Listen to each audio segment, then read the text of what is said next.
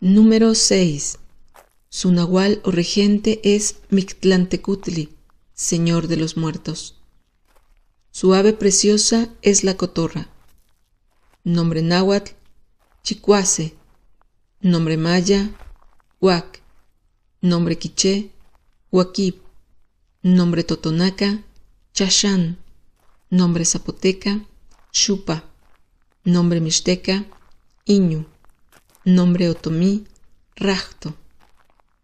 El 6 representa lo incompleto y lo transitorio. Indica que las condiciones no están maduras, por lo que los aspectos positivos del signo se realizarán a medias. Aconseja tener paciencia y aprender a cazar las oportunidades. El signo de conejo es el octavo de la veintena. Su nahual o regente es Mayahuel, la destiladora. Se orienta al sur. Su elemento es la tierra y su color el amarillo. Su horario de máximo efecto es el mediodía. Su componente humano, el cuerpo físico. Nombre náhuatl, Tochtli.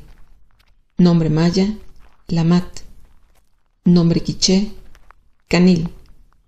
Nombre totonaca, Scau. Nombre zapoteca, Lapa.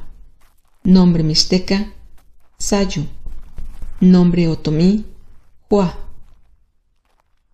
El signo de conejo representa los sentidos y la capacidad de percibir, la sexualidad, las empresas, ideas y soluciones, la facilidad de palabras, la previsión, la acumulación de recursos y la riqueza que deriva de ella.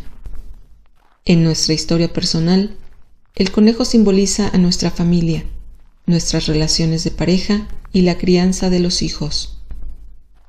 Los días en que rige conejo son buenos para la amistad, el amor y las relaciones familiares. Hoy se vale enamorarse. Quien nace en este signo está capacitado para mantener excelentes relaciones de pareja. Tiene un espíritu guerrero, le gusta conquistar nuevos espacios, es rápido para adaptarse, evaluar y tomar decisiones, y tiene un carácter trabajador, previsor y ahorrador. Todo esto augura éxito en la vida. En el aspecto negativo, los antiguos decían que Conejo es propenso a la embriaguez física y mental.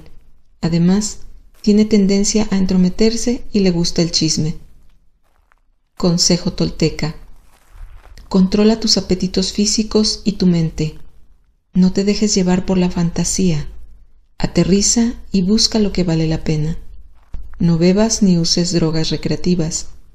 No te metas donde no te han llamado. Aprende a relajarte. Hay un momento para estar en guardia y otro para descansar.